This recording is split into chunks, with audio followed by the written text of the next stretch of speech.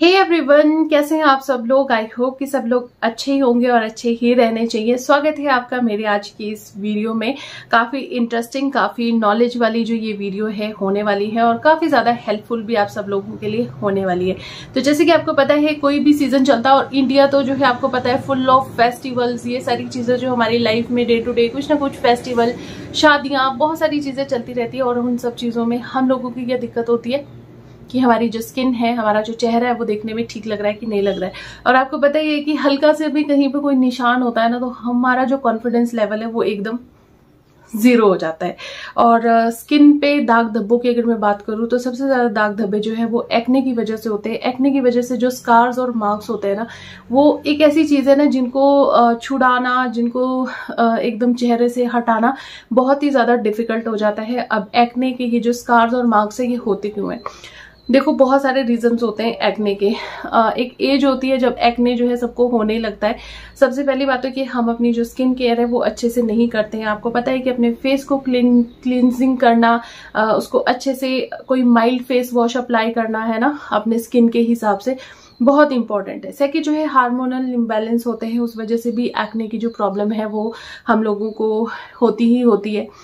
Third जो है, अगर आपकी स्किन बहुत ज़्यादा ऑयली है, उसकी वजह से जो ओपन पोर्स होते हैं, वो पोर्स क्लॉगिंग के जो ओपन पोर्स होते हैं क्लॉग होना शुरू हो जाते हैं, उस वजह से भी एक्ने की जो प्रॉब्लम है, वो शुरू हो जाती है।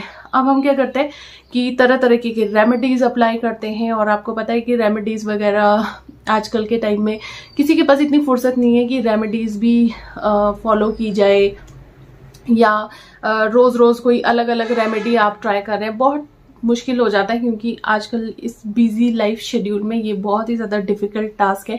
और यूँ कहूँ कि पुराने टाइम में तो ये होता था कि उन, पुराने टाइम में तो बिल्कुल ऑप्शन ही नहीं था अपनी स्किन को कुछ ठीक करने का। अगर स्कार्स हो गए हैं एक्ने की वजह से मार्क्स आपके चेहरे पे हो गए हैं तो उनको ठीक करने कोई ऑप्शन नहीं था। लेकिन अभी हम लोगों के पास आपको पता है कि बहुत सारे ऑप्शन हैं जो हम अपने स्किन के हिसाब से, अपनी स्किन प्रॉब्लम के हिसाब से चूज़ कर सकते हैं और अपना जो स्किन है उसके टेक्सचर को ठीक कर सकते हैं।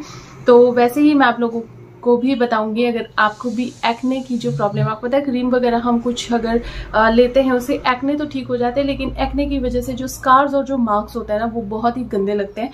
और जैसे कि मैंने कहा कि हम जो है बिल्कुल कॉन्फिडेंट भी फील नहीं करते हैं उन सब मार्क्स और स्कार्स की वजह से। तो मेरे पास एक बेस्ट सॉल्यूशन है, जिससे आपके जो स्कार्स है और मार्क्स है, मैं फिर से कह रही हूँ, जो एक्ने की वजह से, जो पिंपल्स की वजह से एक्ने की वजह से दाग धब्बे हम लोगों को हो जाते हैं चेहरे पे। उनको इम्प्रूव करने का बेस्ट ऑप्शन है, क्योंकि आपको पता ही है, बहुत टाइम से अगर आप मुझे देख रहे हैं तो मैं हमेशा एक्ने एक्ने एक्ने ये बहुत ज़्यादा आप लोगों के साथ डिस्कस करती हूँ, क्योंकि मुझे एक्ने की बहुत ज़्यादा प्रॉब्लम थी भी, और एक्ने की वजह से स्कार्स और मार्क्स हो ही जाते हैं।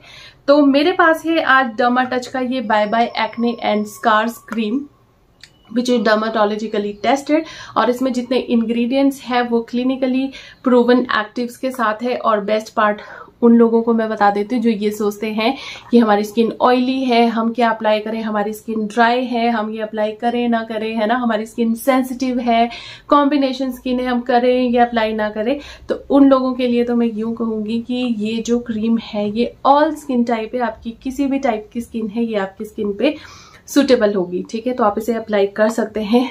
और उससे भी बड़ी बात कि ये जो क्रीम है, ये मेल और फीमेल्स दोनों के लिए अगर मेल्स को ज़रूरी नहीं है कि एक्ने की जो प्रॉब्लम है वो फीमेल्स को ही होती है मेल्स को भी एक्ने की प्रॉब्लम होती है। एक्ने की वजह से स्कार्स और जो मार्क्स है वो मेल्स के फेस पे भी होते हैं और फीमेल्स के भी होते हैं।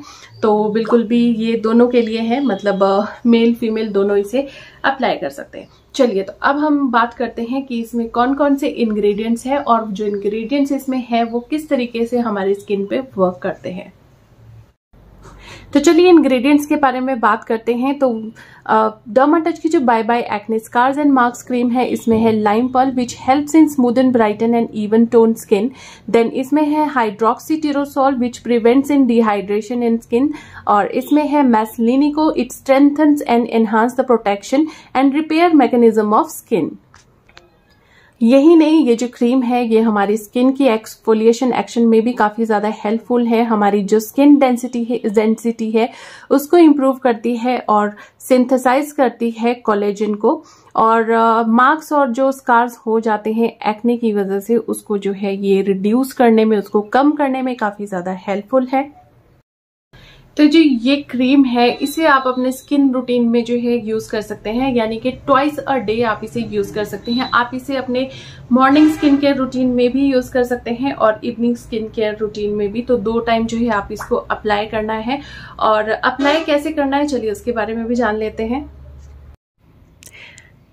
तो क्रीम अप्लाई करने से पहले सबसे पहले अपना जो फेस है वो प्रॉपरली क्लीन कर लेना है किसी माइल्ड फेस वॉश से जो भी आप अपने स्किन टोन के हिसाब से अपने स्किन टेक्सचर के हिसाब से अप, आ, हमेशा यूज़ करते हैं वही फेस वॉश उसके बाद जो है ये क्रीम आप देख सकते हैं यहाँ पे इसका जो टेक्स्चर है बहुत ही ज़्यादा स्मूथ है स्मूथ है। क्विकली जो है ये एब्जॉर्ब हो जाती है हमारी स्किन पर आप हाथ में मेरे देख ही सकते हैं कि कितना जो है ये लाइट लग रही है देखने में और उतनी क्विकली जो है ये एब्जॉर्ब भी हो जाएगी। तो जहाँ जहाँ आपके फेस पे एक्ने के मार्क्स या स्कार्स है वहाँ पे आपको इस तरीके से ये अप्लाई करना है और इवनली जो है स्प्रेड कर लेना है। ये क्विकली एब्जॉर्ब हो जाएगी आपके स्किन में और अगर आपको लगता है कि आपके ऑल ओवर फेस जो है एक्ने के स्कार्स है मार्क्स है तो आप इसे पूरे फेस पे भी अप्लाई कर सकते हैं। और ट्रस्ट मी अगर आप इसे अपने डेली रूटीन में जो है ऐड करते हैं इसे अपनी स्किन केयर किट में तो आपको बहुत जल्दी जो है इसके रिज़ल्ट जो है विजिबल हो जाएँगे। तो यहाँ पे आपको मैं दिखा रही हूँ कि कितनी क्विकली ये मेरे हाथ में भी एब्जॉर्ब हो गई है ये क्रीम तो ये हमारा जो स्किन टेक्सचर है, उसको भी काफ़ी ज़्यादा इम्प्रूव करती है। तो विजिबल रिजल्ट्स के लिए क्विक रिजल्ट्स के लिए आप इस क्रीम को अप्लाई कर सकते हैं।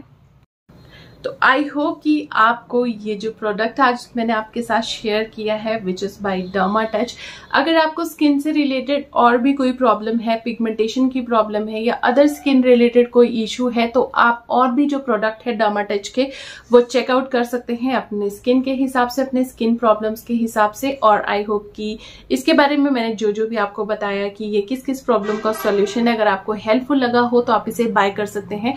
लेकिन बाय कैसे करना है, वो भी मैं आपको बता देती हूँ कि इस प्रोडक्ट का जो लिंक है, वो आपको मेरे डिस्क्रिप्शन बॉक्स में मिल जाएगा। वहाँ से जो है आप इसे बाय कर सकते हैं चेकआउट कर सकते हैं। और इसका जो लिंक है, वो मैं अपने कमेंट बॉक्स में भी पिन कर दूँगी ताकि आपके लिए और भी ज़्यादा इजी हो जाए इसे बाय करना परचेज करना और इस क्रीम का जो लिंक है वो ढूंढना। तो कमेंट बॉक्स में भी चेक कीजिएगा और डिस्क्रिप्शन बॉक्स में भी चेक कीजिएगा। तो आई होप कि आपको आज की ये वीडियो हेल्पफुल लगी होगी। हेल्पफुल लगी हो तो लाइक ज़रूर कीजिएगा और चैनल पर नए हो तो सब्सक्राइब ज़रूर कीजिएगा। मिलते हैं आप लोगों से अब नई वीडियो में किसी नए टॉपिक के साथ। तब तक के लिए बाय बाय टेक केयर ध्यान रखिए, खुश रहिए और मेरी वीडियोस देखते रहिए।